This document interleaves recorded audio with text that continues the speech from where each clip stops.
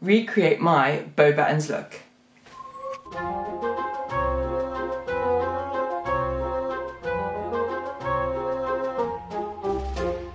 I recently went to a book event and decided to go all out. And as it was a magical occasion, I thought I would dress for the occasion, but I needed something to be Goblet of Fire. But this was a book event. So I thought I went through what I had. I had Hogwarts robes, movie, vintage Hogwarts robes, movie, Quidditch jumper, movie. So I was like, what am I gonna do? It's actually while I was scrolling through Instagram that I stumbled across two of my Instagram friends who recently did a Beauxbatons boy look and I thought that this would be perfect. It is book accurate but film inspired and hopefully people will get it and around the same time Elope had just launched their official Beauxbatons hat and cape so I thought that this would be ideal. So first I had to get the cape and the hat but the two friends that made it were based in Spain so I ordered from them but then I know they have a lot on, and this was quite a last minute request as well, so rather than them stress and me stress in case I'm not going to get here in time, I thought let me try and get the American one. And it was fortunately down to Haley, my good friend Haley, of Michael and Haley, who you should totally check out by the way, I'll link them here. She was kind enough to order me one and send one from America, so that was coming as well. So at least I had two options coming. They both did actually arrive in time, but I decided to go for my good friend Mr. Malkin's Beauxbatons cape and hat because I wanted to support a friend. Not that the Elope products aren't good, but as you can see, it's a lot bigger for my head.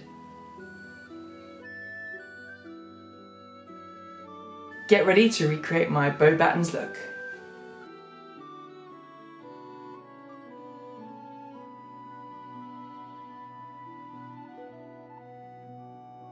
What I do is look at the cape and find a matching suit to the cape because as you can see, the cape and the dress underneath from the studio tour is the same fabric. So I had to get one that was as close as I could get.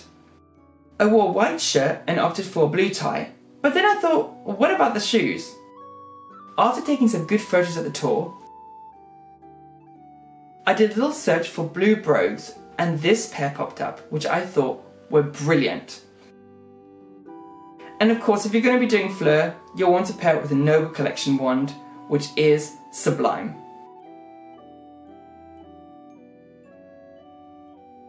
So if you're not following me on Instagram, then you may have missed that this book outfit was a hit. Well, it was for me anyway. I really enjoyed wearing it. I had so fun looking the part.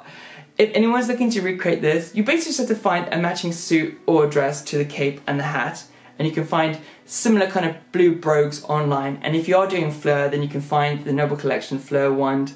I'll leave links for all of the items I found, so look out for those if you want to recreate this look. I hope you've enjoyed learning about this Beauxbatons look. If you have, then please like this video. And let me know in the comments section, now that you know how to recreate this look, will you be doing that? I'd be really interested to know.